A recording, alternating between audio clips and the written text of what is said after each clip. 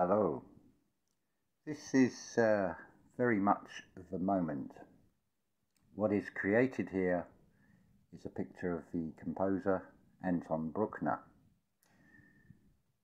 For this image, I have used as a subject matter his death mask, with one difference, that being that the eyes are open.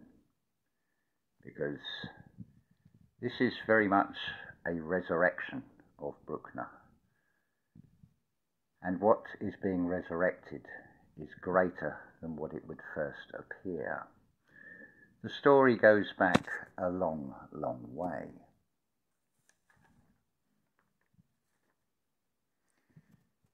Glasgow born UK radio presenter and music journalist Tom Service observed Bruckner's music recalls the late Renaissance music of Giovanni Pierluigi de Palestrina, who was born circa 1525. It's not actually certain of the date.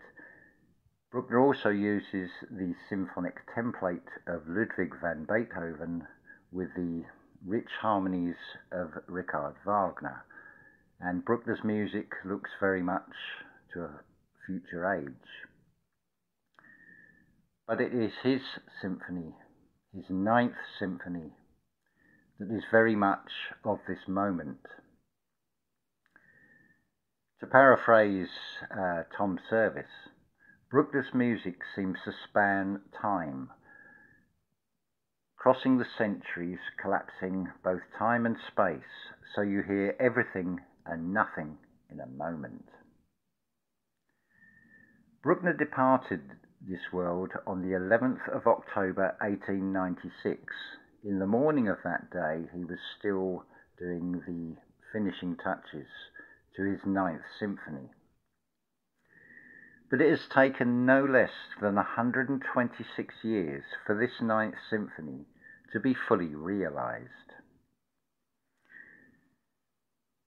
Now notice 126 years, so that's one and 2 and 6 equals 9, and we're talking about a ninth symphony.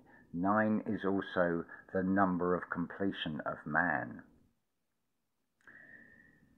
But the story actually goes further back than this. We have to go back to the period 1480 Anno Domini and 1512 Anno Domini, a span of 32 years the two dates mark the completion of the Sistine Chapel. Now, I should point out, it is all about the spell, Sistine. It is a cyst in energy because of the way it has been used. You have the famous ceiling painting by Michelangelo, which is basically a play on words on Archangel Michael. It's a figure that also is depicted musically by Bruckner in his Eighth Symphony, known as the Apocalypse, as a sort of unofficial nickname at various times in its history. Now, this famous Sistine Chapel painting, I wonder how many of you have really seen what is being displayed there that famous creation image of Adam representing man and then God. But notice that the fingers do not touch.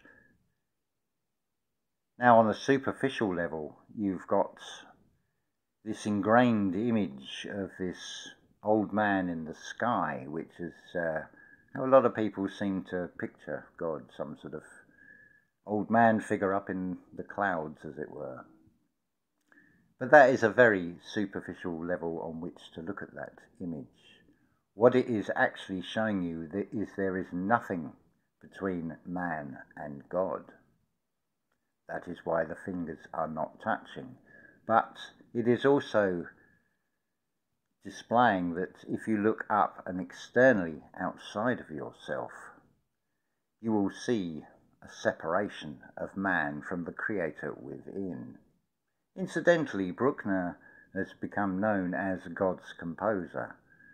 And as a reminder, as I have said before, Anton means divine one. Bruckner in English means bridge, so he is the, the bridging of the divine one. What Bruckner has given you in the Ninth Symphony is something that surpasses the entire Sistine Chapel painting. That is a visual art. But it is allegorical, it is metaphorical, it is not to be taken literally. Look again at God. You'll notice there are 12 figures in that red. What should we say that is? A pineal gland? It is basically showing you that there is no separation, but everything comes from nothing between the pineal gland and the man. Notice that the Adam figure is on earth because you are a co creator on earth. But if you use your imagination, you can co create within this reality. There is a saying in English about punching your lights out, and that is exactly what I propose to do here. It implies a physical punch of knocking the daylights out of someone, I, that is, in other words, to punch them in the eyes, give them two black eyes. I think uh, many of you are familiar with that black eye symbology with the moon eye, for example, that is shown by many, shall we say, celebrities and well known personalities. But I digress. Round the uh, top of the Sistine Chapel, just below the ceiling, are a series of 32 lights, skylights, windows. And between those are 30 panels, allegedly depicting the 30 popes up to the time of 1512, when the Sistine Chapel painting was completed by Michelangelo. Interesting that, 1512. Then we have 2012, in which this Ninth Symphony finale of Bruckner was realized. We'll come on to more about that in a little while. But going back to the lights around the top of the, the windows around the top of the Sistine Chapel, then you've got between the eyes, between the lights, you have figures. It is all metaphorical messages. Your third eye is right between your two physical eyes. The two eyes to look and one to observe.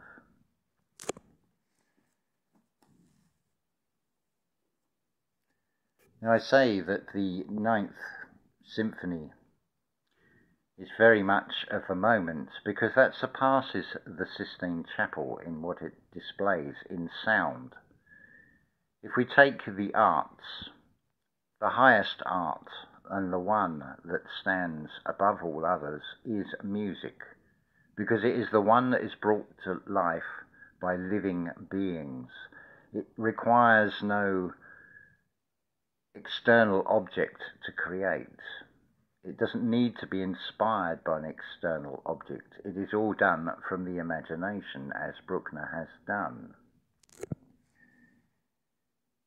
It is very much of this moment historically if we look at the Ninth Symphony.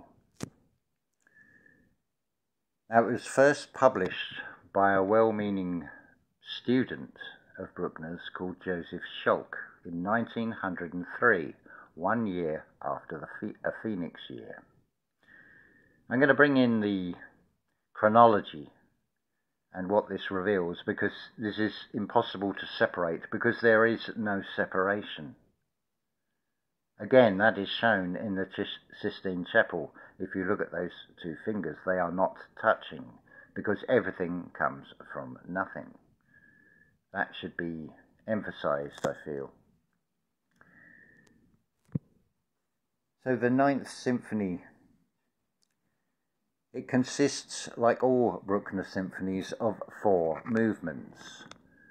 But thanks to Joseph Schalk, it put in place a publicly held view which is reinforced by the music world of it being a three movement torso, with an incomplete finale, the, the rantings of a madman who's lost his mind, referring to Bruckner.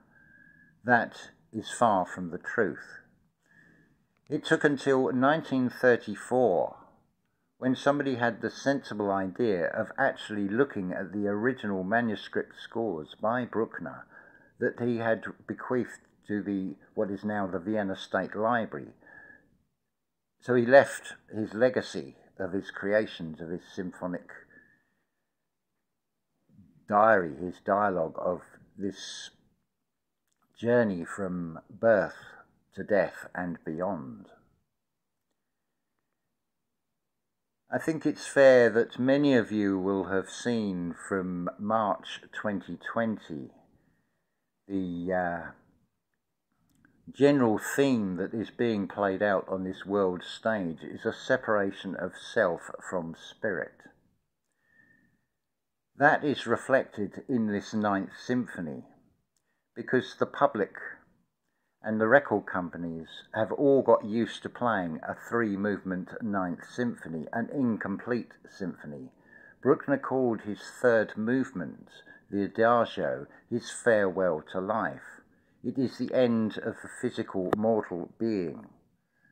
The finale of this Ninth Symphony goes into another world. What is depicted here is the railings of St. Florian Monastery representing the gates of heaven and Bruckner coming back out from the dead. Incidentally, his uh, body is buried below the what is now known as the Bruckner organ in the St. Florian, St. Florian Monastery in Austria. And it is mummified and it was restored in recent years and apparently looks as fresh as the day he died. But a bit of a clue here. The physical avatar now lacks life. It is just a mummy, it is just a corpse that is artificially embalmed and kept preserved. But it can do nothing of itself because the spirit of Bruckner is now free. It has been released unto the world. Very relevant for today. This finale of the Ninth Symphony is the journey beyond. The beauty of this, as, as a commentator has said on a recent video upload. I'll come more onto that later. But basically, it would fit the idea of the Catholic uh, belief of purgatory and a forgiving creator. But that's a very superficial level, and I would refer you back to look at that pineal gland that is being shown on the Sistine Chapel. It is an archetype, it is a representation, it is not intended to be taken that literal. There is always a deeper meaning in things, the same as with this Bruckner Ninth Symphony. It is only when you internalize it and you feel that music inside that it reveals its true message. 126 years to complete. It was left open ended, as it were, deliberately. If we look at the composition process and the, t- uh, the time span of this Ninth Symphony, it was commenced in 1887 by Bruckner. There are sketches of even the f- finale themes, the what is the zigzags uh, sound, what is known as the crucifix theme. It's a basically a one, two, three, four, one, two, three, four at the opening of this finale. It is the resurrection, it is where the spirit departs the body and goes into the beyondness. Bruckner knew that his creations in sound were not for his time, so he went through a period of what is known as revision mania. We get to an isometric marker of about 1892, and this is where things really start to happen with Bruckner. As a physical being, this reality is all about experience. What Bruckner is expressing in this Ninth Symphony is from a, a, position of experience, so of course he has had to go through an experience. And he certainly did that. On the 24th of March 1893, his health had deteriorated that he had the last sacraments read, expecting that he was going to die. But no, he makes a recovery, a miraculous recovery. He revises other works. He carries on writing and creating this Ninth Symphony. So, from that experience, of that near death experience, has enabled him to write the first three movements. So the first movement of the Ninth Symphony was completed on the 23rd of December 1894, followed on the 15th of February 18 sorry the 23rd of February 1893, followed on the 15th of February by the by the second movement, the Scherzo.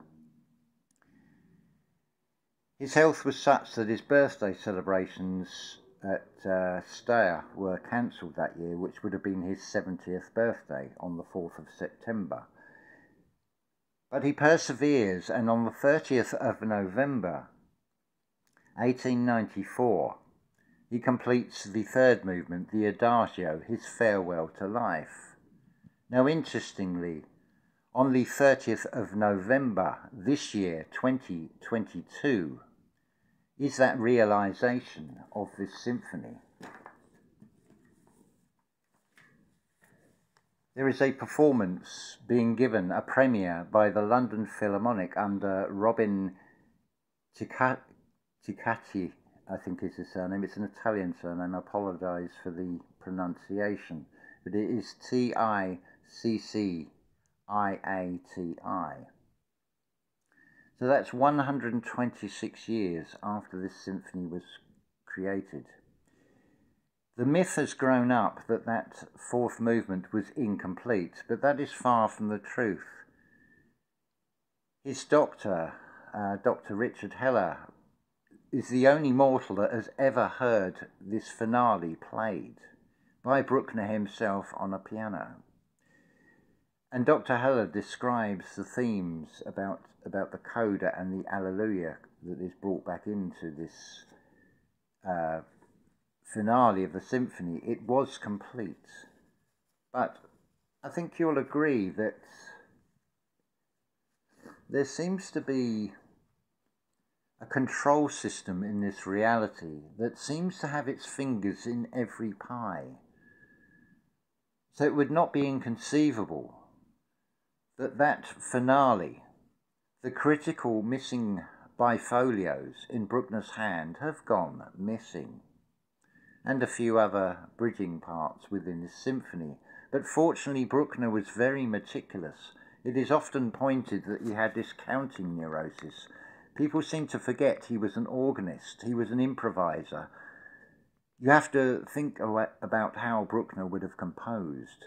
He was very meticulous to number all the pages of every score, to number the bar lines, to look at the balance of the structure of his symphonies. He did the same with his study of the template of his symphonies with Ludwig van Beethoven.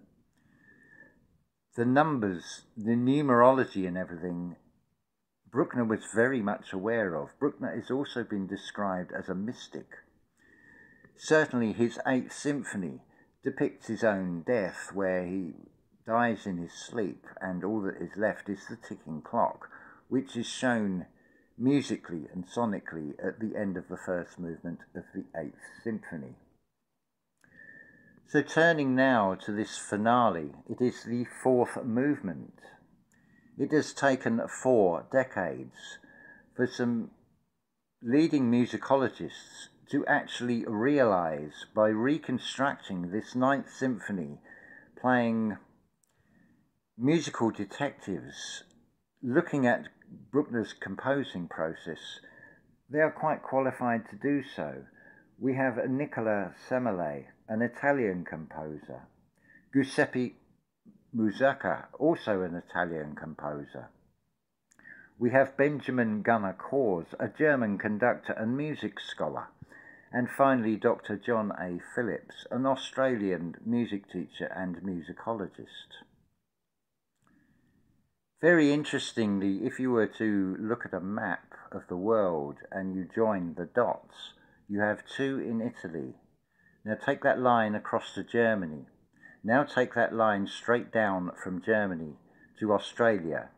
I think you'll see you have something that looks very much like the number seven divine, the, the number of divinity, because that is what Bruckner's ninth is. It is talking and expressing the Creator. It is expressing creation itself. It surpasses the Sistine Chapel in that because it leaves the visualization to your imagination.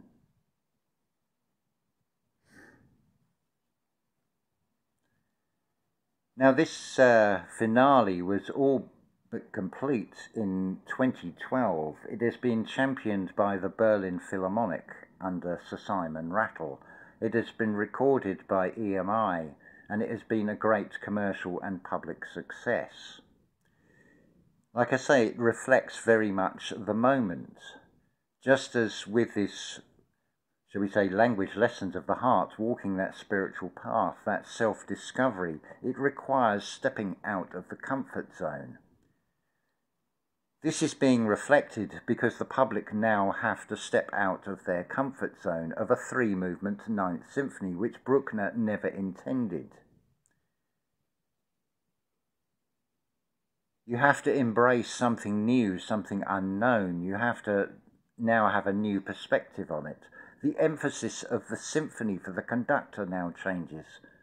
Sir Simon Rattle has to hold back in those first three movements rather than culminating with the third movement and then giving it all in that fourth movement because it is all about the all. It is about the Creator. It is about you. It is about I.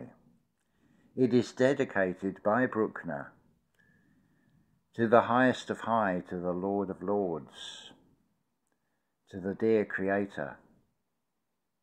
That is why because I know time is not linear. I know who I am, so I accept the dedication. I am the dedicatee.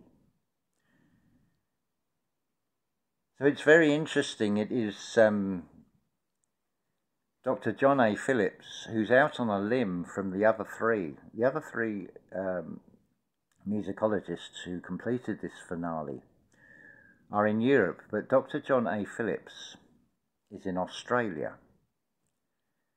It reflects also how, with the Kundalini rising, you've got to go from the place of the sun and go down to the base. You could say that Australia is at the bottom of the world, as it were.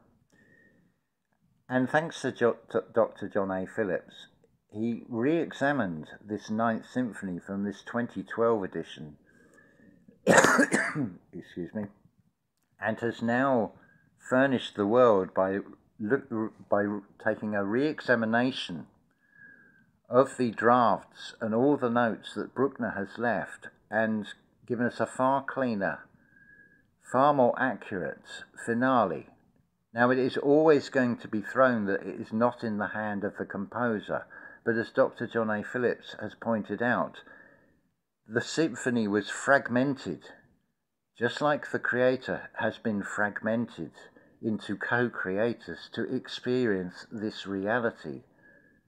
The micro and the macro are clear to be seen in all of this, within oneself and externally of oneself. That is why I say this music is very much of the moment, it is of now. So, 30th of November 1894, the completion of the Adagio, the Farewell to Life. The 30th of November 2022 sees the premiere of the entire work in a form that is as close as you're ever going to get because it is in the hand of Bruckner effectively. But it is a living symphony. it reflects this separation of spirit in the nature of the history of, of the symphony. It is reflecting the history of humanity with what is going on today, with its intention to separate man from spirit through the most devious and misleading means. In the same way that the Sistine Chapel images have been taken in a very misleading and very superficial way.